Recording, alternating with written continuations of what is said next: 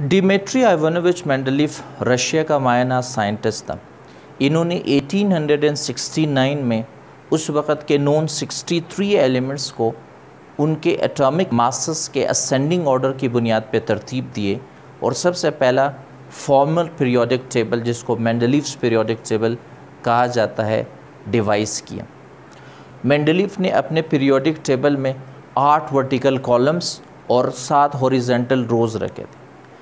Vertical columns को group कहा जाता है और हॉरिजेंटल रोज़ को पीरियड कहा जाता है।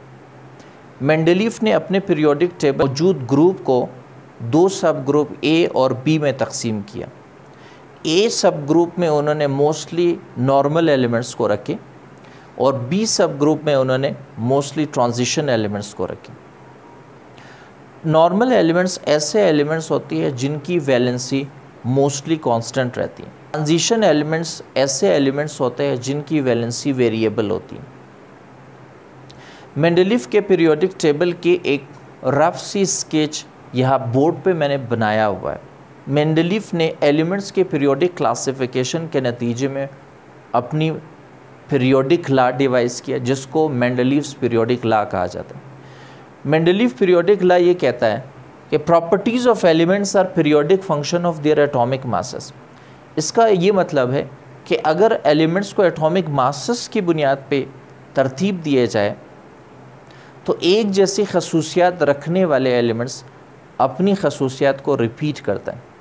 मैंडलीव पीरियोडिक टेबल की सबसे बड़ी खूबी ये थी कि मैंडलीफ ने अपने पीरियोडिक टेबल में कुछ अनडिस्कवर्ड एलिमेंट्स के लिए ब्लैंक स्पेसेस छोड़े उनकी एटॉमिक मासेस के बारे में उन्होंने बताया और उनकी प्रॉपर्टीज़ को प्रिडिक्ट किए।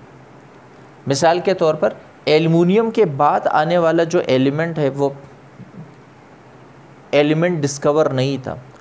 उस एलिमेंट को उन्होंने ईका एलुमिनियम का नाम दिया और उनके एटॉमिक मास 70 उन्होंने कहा। और इसी तरह से उनकी ऑक्साइड्स और हाइड्राइड को R2O3 और RH3 जिसमें R वो अनडिस्कवर्ड एलिमेंट।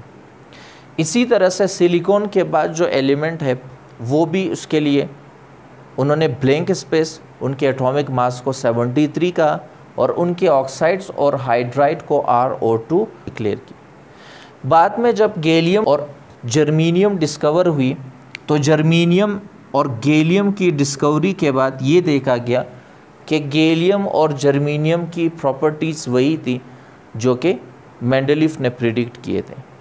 मिसाल के तौर पर, गैलियम का जो हाइड्राइट है वो जी ए एच थ्री होती है और गैलियम का oxide G A two O three होता है। इसी तरह से जर्मीनियम का hydride G E H four और जर्मीनियम का oxide G E O two ये वही है जो कि मेंडलीफ ने प्रिडिक्ट किया था। मेंडलीफ ने अपने वक्त के तमाम एलिमेंट्स को खूबसूरती से पीरियोडिक टेबल के सांचे में रखा। वहीं पे मेंडलीफ पीरियोडिक टेबल में बाज़ नकाइस भी देखे गए। मेंडलीफ पीरियोडिक टेबल का पहला नुक्स ये था कि मेंडलीफ ने तमाम एलिमेंट्स को उनके ascending order of atomic masses की बुनियाद पर तरतीब दी। लेकिन जब आइसोटोप्स की डिस्कवरी हुई तो आइसोटोप्स चूँकि एक ही एलिमेंट के मुख्तलिफ़ एटम्स होते हैं, जिनके लिए मेंडलीफ पीरियोडिक टेबल में अलग अलग पोजीशन नहीं थे। मेंडलीफ पीरियोडिक टेबल में बाज़ ऐसे एलिमेंट्स को against the order of classification रखा गया था।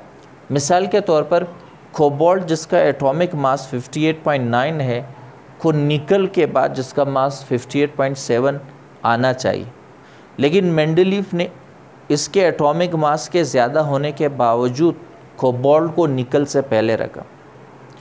इसी तरह से मेंडलीफ पीरियोडिक टेबल के एक इम्पोर्टेंट डिफेक्ट ये भी थे कि मेंडलीफ ने कॉपर सिल्वर और गोल्ड जो कि क्वाइनेज मेटल्स होती है, इनको ग्रुप नंबर फ़र्स्ट के एलिमेंट्स के साथ रखा। ग्रुप नंबर फ़र्स्ट के एलिमेंट्स और क्वाइनेज मेटल की प्रॉपर्टीज़ एक दूसरे से काफ़ी हद तक मुख्तलिफ़ हैं। उम्मीद है आपको मेंडलीव पीरियोडिक टेबल और इसकी मेरिट्स एंड डी मेरिट्स का इलम हो चुका होगा। अगर आपको ये वीडियो पसंद आई है तो आपने इसको सब्सक्राइब, लाइक एंड शेयर ज़रूर करना है। हो सकता है आपकी इस छोटी काविश से इलम का दिया मज़ीद जले